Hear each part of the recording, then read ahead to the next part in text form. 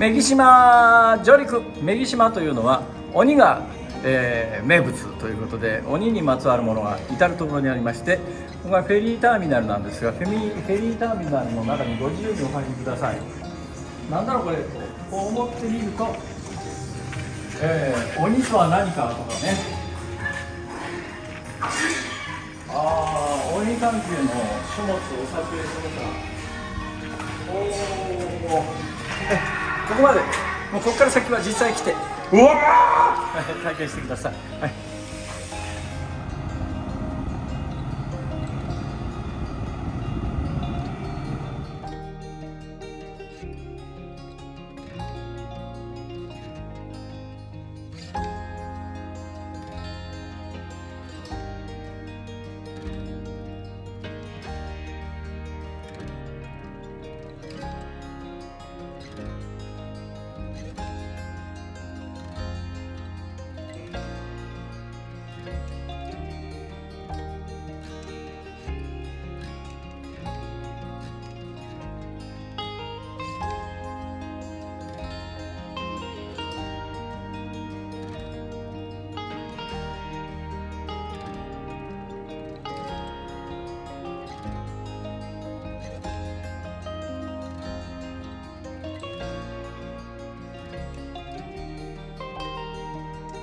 女木島最大の観光スポットです。鬼ヶ島、えー、実はここは桃太郎伝説もありましてですねどっちやねんという話ですが、えー、ここまで来るバスが400円。まあ2.5キロぐらいで標高180メートルぐらいまで上がってきますから、まあ、歩いたら1時間弱つぐぐらいですかね。でもこの暑いさなか歩くの嫌な観光客で今日日曜日ってこともあっていっぱいです。よいしょ。うわここの階段もきついわこれ。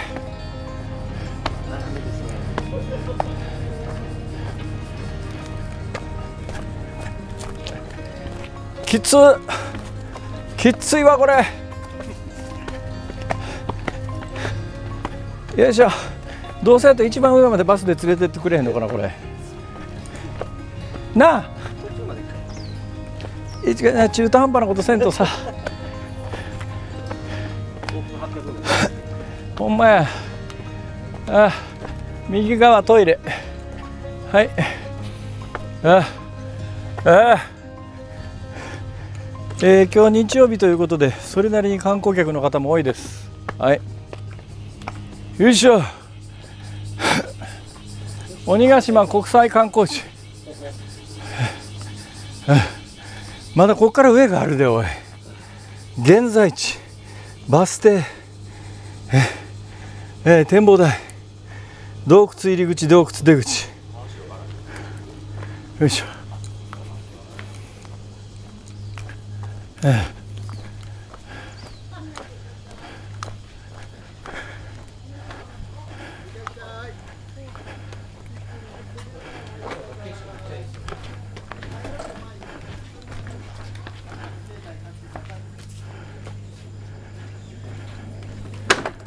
はあ向こう高松か。あそこ高松か、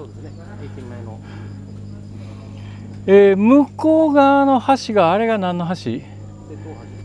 あれで瀬戸大橋のどっち側のやつ？あれが小島小島坂出ルートか、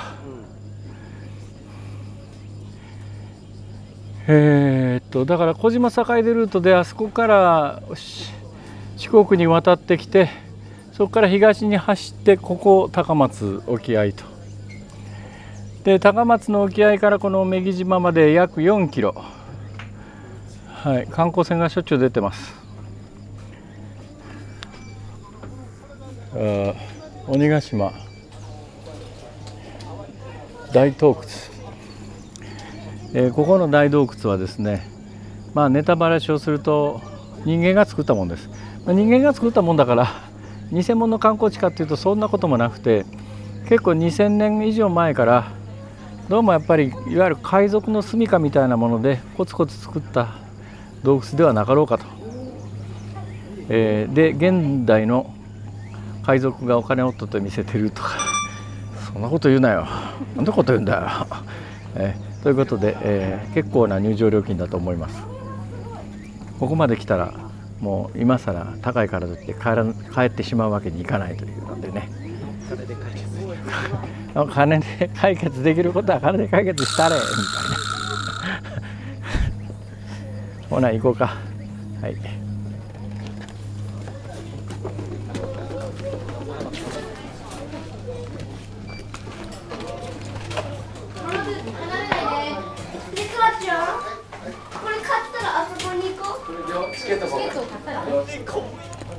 600円やった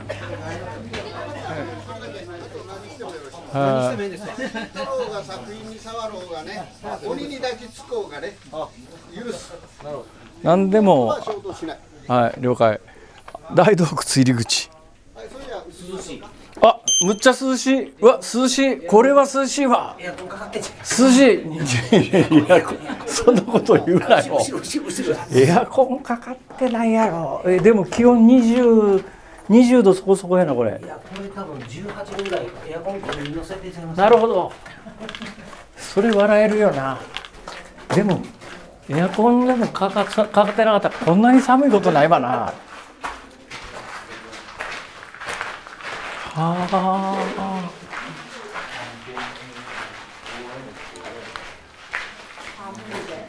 この鬼ヶ島謎の洞窟は人の手によって作られた洞窟と言われてまた洞窟は古代中国の要塞に似せて建築この玄関口から中ほどにかけて防御しやすい構造にまた中ほどから出口にかけて逃げやすい構造になっています。はあなるほど。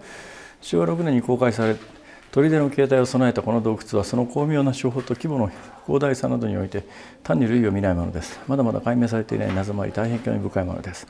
瀬戸内ファンタジーをごゆっくりお楽しみください。現在地。へえ。へえへえじゃあまあ行ってみるか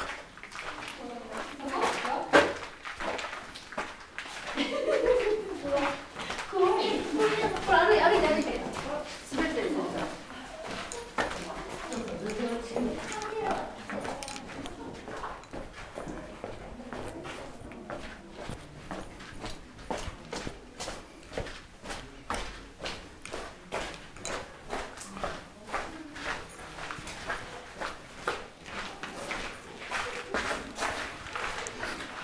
助けてくれ。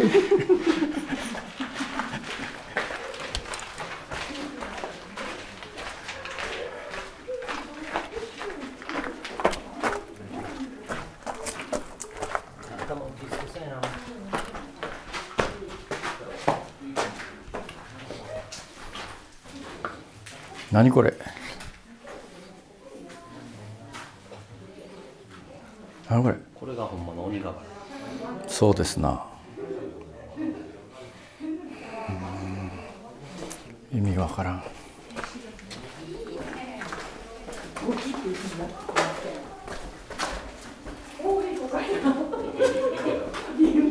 あ、温度書いてある。あ、やっぱり18で。私。ー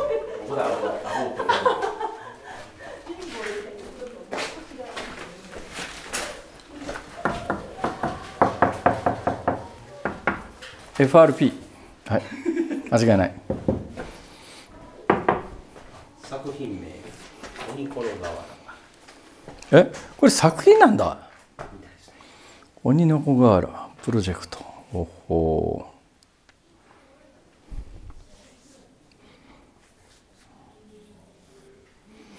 ああ子供が作ったんや。子供が作った鬼瓦だ。なるほどね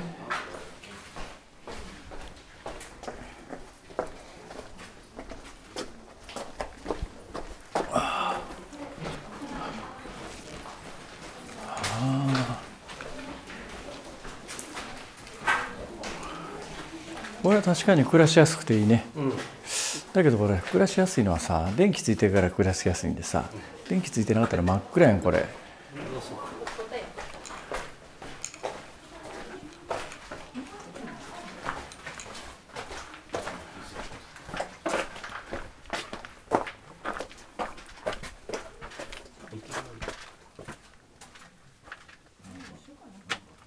ほほ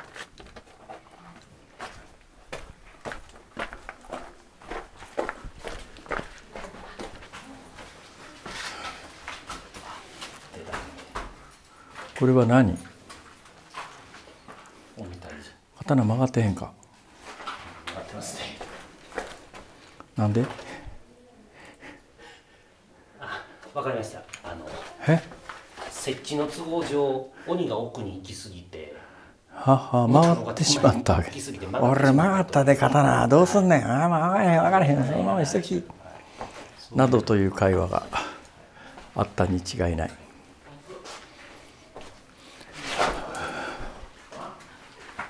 お別荘としてはなかなかいいね。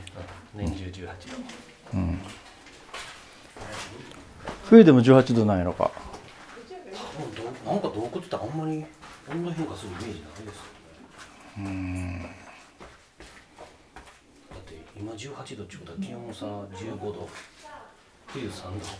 うん。とは考えにくいですよそうだな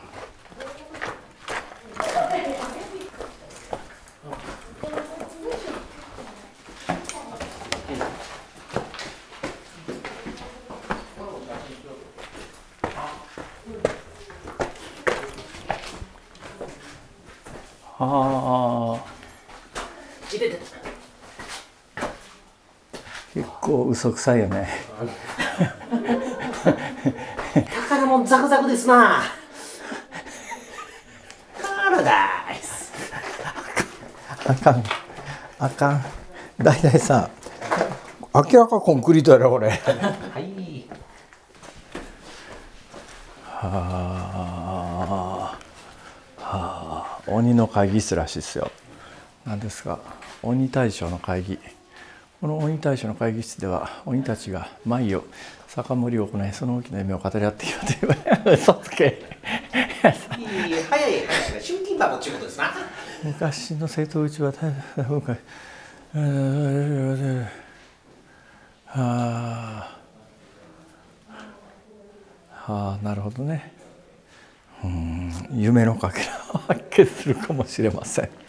夢のかけらですうんそうみたいですね。探してみていいですか？あかんよ拾ったら。拾ったらあかんよ。拾ったらあかんよ。うん。そうですか。はあ。天井から地下水が滴ってると確かに水込まらへんよね。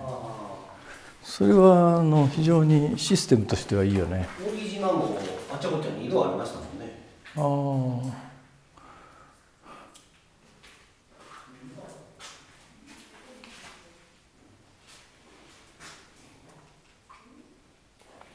しかしこんだけ硬そうな岩盤をくり抜いたとは思えへんけどな。どうやって作ったのこれ？鬼ヶ島天満宮。おあ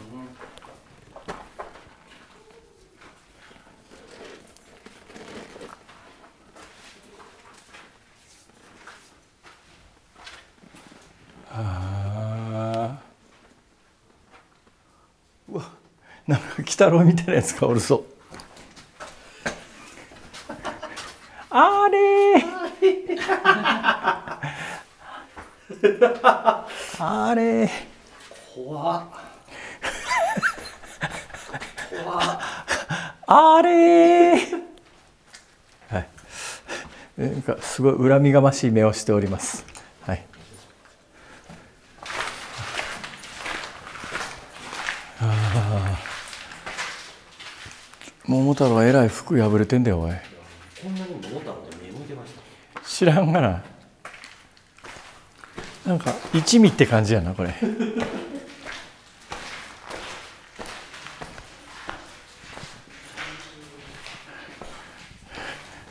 握手してますよいいのかこういうことで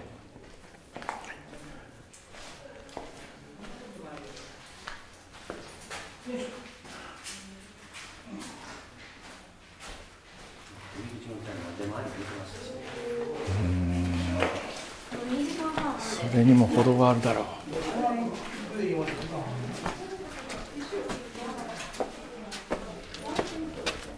よいしょ。あ、すみません。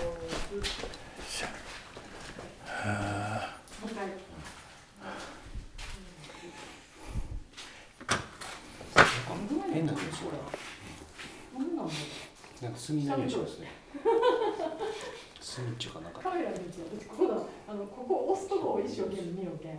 何回も。なんかアップすぎてうちの方に映っとらんのじゃああれも切ったらよかったと思って今今思った。これ短冊の方です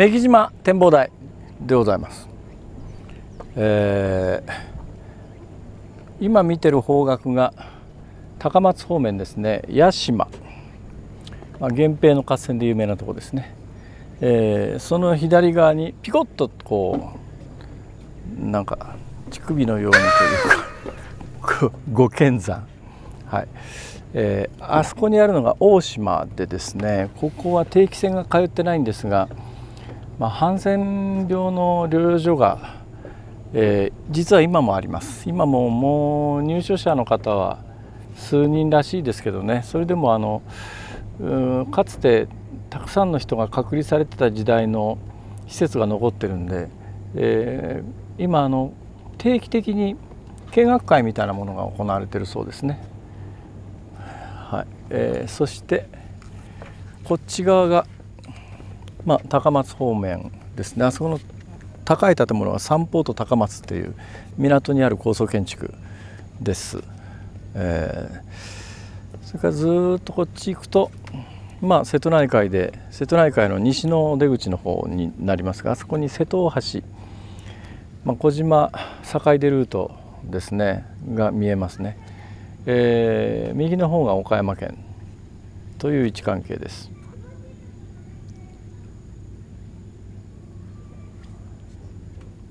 あ。穏やかだわ。